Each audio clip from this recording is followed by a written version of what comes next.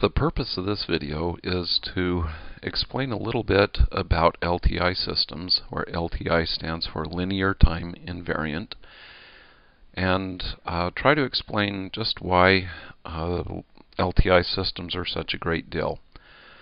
So um, we'll begin with uh, what hopefully will make sense as a useful way to describe the situation.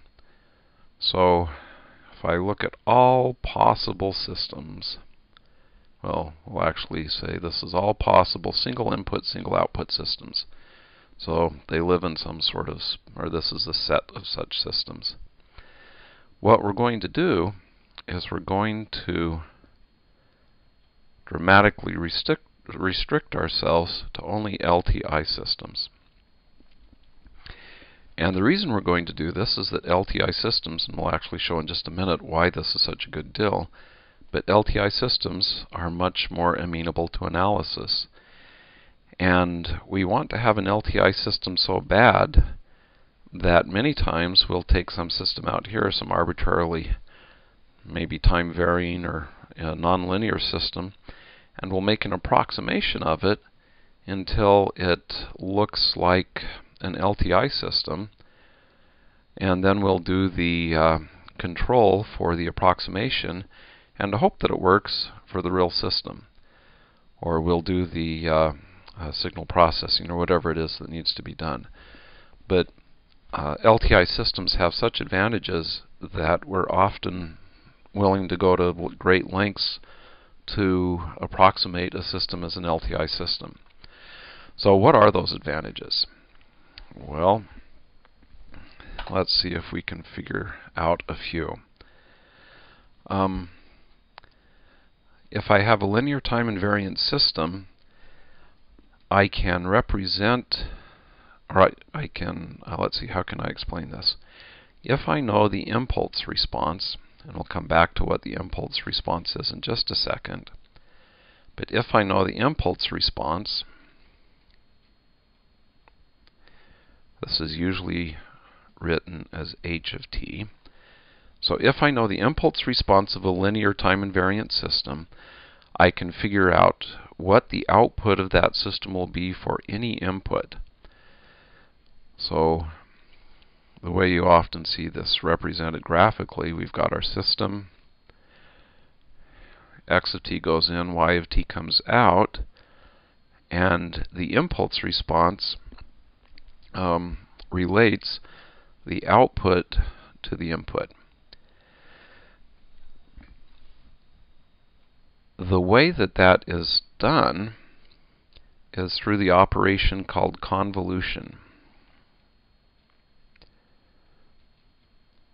And in another video, I show how um, an LTI system, I actually show how the convolution integral is defined and, worked out.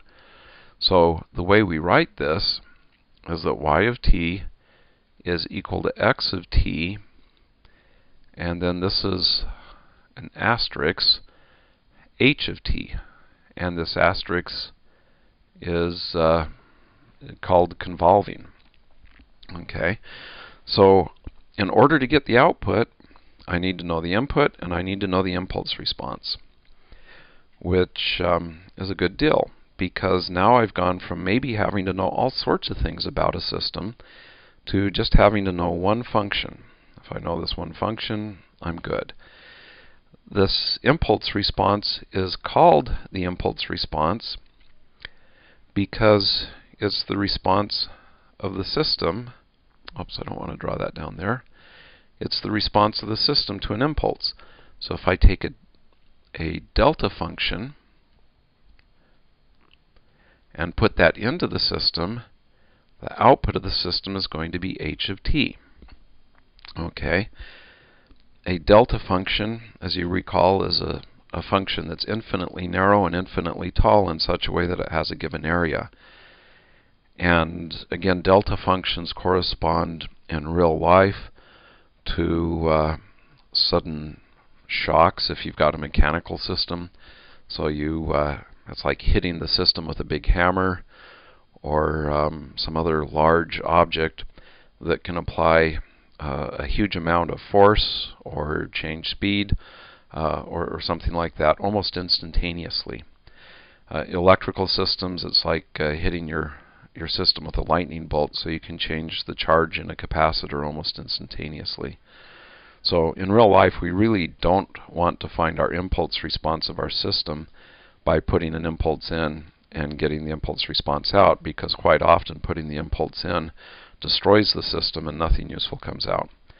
So uh, later when we talk about um, transfer functions, uh, we'll discover other ways of finding out what the impulse is rather than going about hitting things with hammers.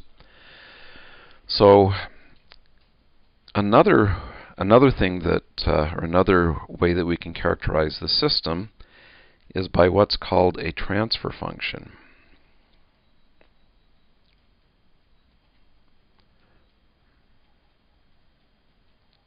So that's a transfer function. And this ends up getting represented as h of s. Okay. And it turns out that the transfer function is used um, or is used in conjunction with the Laplace transform.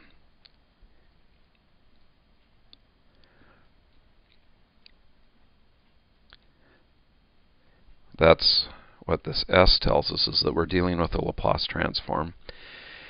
And um, the the transfer function allows us to compute an output which is an input times the transfer function. Okay, so this is this is actually showing us the reason that Laplace transforms are so popular. Convolutions are in general quite difficult to compute.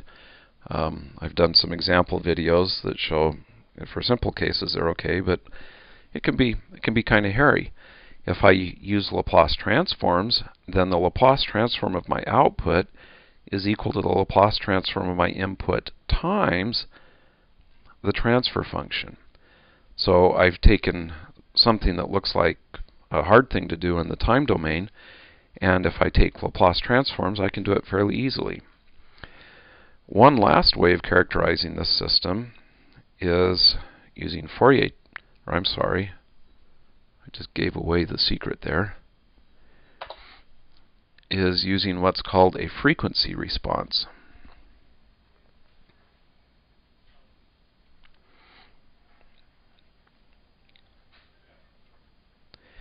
And the frequency response is typically drawn h of j omega. Uh, J, as you will recall, is the engineering way to describe the square root of negative 1, and omega is a radian frequency. Um, so that's how you can tell that we are talking about a frequency response.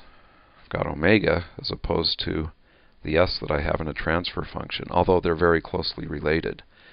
This is a Fourier transform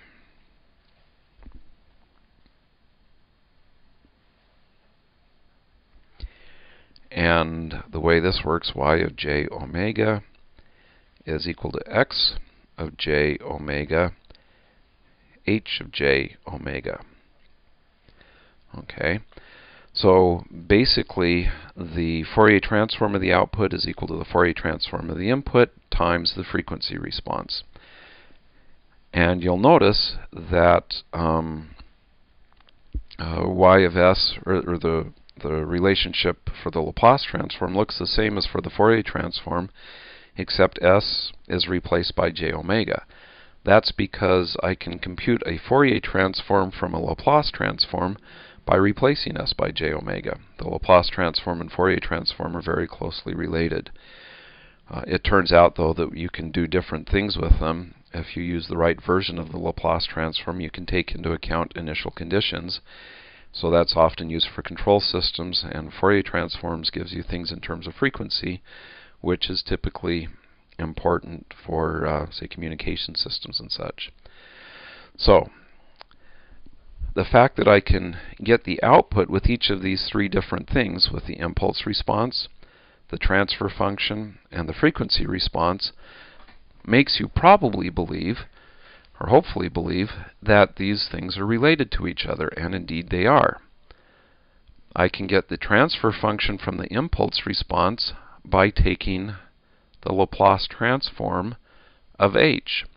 So um, h of s, this h of s here, is equal to the Laplace transform of h of t.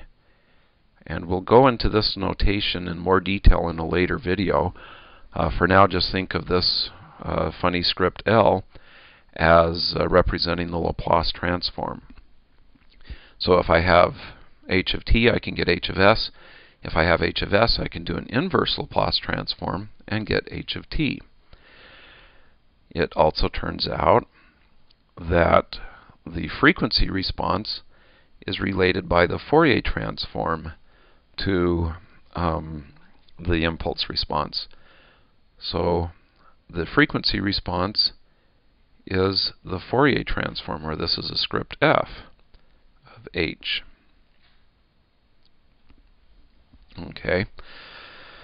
So, in summary, the reason that I care so much about Laplace or linear time invariant systems is that one single function again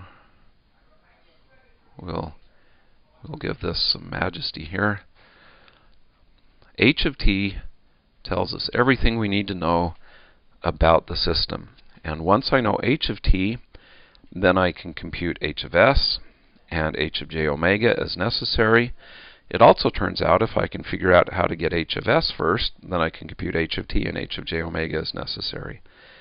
And that's all due to the fact that I have a linear time invariant system. So we'll end the video there.